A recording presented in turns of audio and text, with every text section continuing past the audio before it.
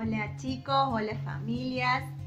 Eh, parece mentira, pero ya estamos eh, cerrando la primera etapa y a comienzos del receso escolar de invierno. Eh, no quiero terminar esta etapa sin agradecerles, agradecerle a cada uno de ustedes por su apoyo, por el apoyo que le han brindado a sus hijos, a mí, por las palabras que siempre de cariño he recibido. También agradecerles este, porque si bien los desafíos que tuvimos que afrontar eh, fueron difíciles, eh, pudimos superar todos los obstáculos y hasta aquí vemos que Dios nos ha cuidado y Dios nos ha ayudado.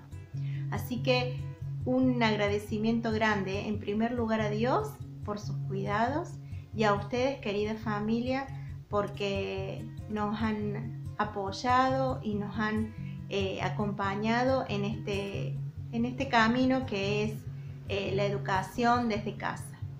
Gracias por abrirme las puertas de su hogar con cada video, con cada actividad, con cada uno de los ejercicios que le mandabas para hacer y gracias por el cariño que siempre, siempre han tenido conmigo.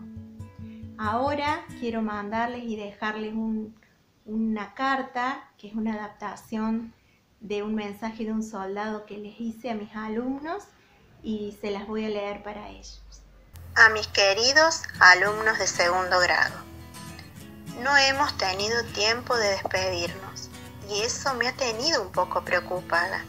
En muchas noches aquí en mi casa, donde me encuentro cumpliendo con mi labor de mamá, esposa y educadora, he recordado a cada uno de ustedes. ¿Quién diría que esta foto iba a ser la primera y el último registro que tendríamos juntos?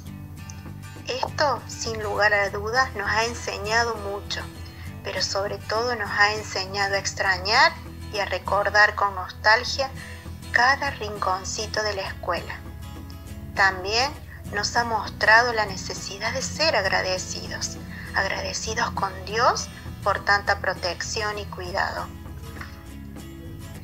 Espero que ustedes no se preocupen por toda esta situación porque pronto, muy pronto vamos a estar juntos nuevamente y vamos a cerrar los ojos para agradecer a Dios sus bendiciones.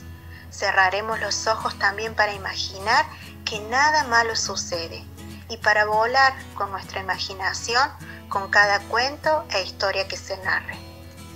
Chicos, quiero que sepan que a la noche cuando me acuesto, cierro los ojos y veo cada una de sus caritas, riendo, jugando, y cuando me duermo sueño que estoy con ustedes.